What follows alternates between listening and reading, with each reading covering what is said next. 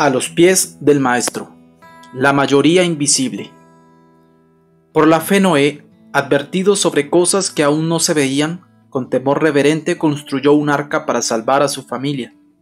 Por esa fe condenó al mundo y llegó a ser heredero de la justicia que viene por la fe. Hebreos 11:7 Noé era muy diferente del resto de los hombres de su época.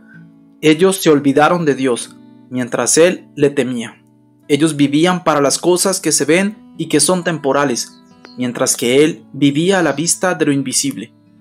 Cuando estaba construyendo su arca, formaba parte de una minoría miserable, e incluso luego de 120 años de ministerio, cuando terminó de construir el arca y su familia entró en ella, eran ocho contra muchos millones, una cantidad insignificante, como dirían los hombres. Una secta digna de lástima comparada con toda una humanidad. ¿Quién habría pensado que los ocho estaban en lo cierto y los demás eran los que estaban equivocados?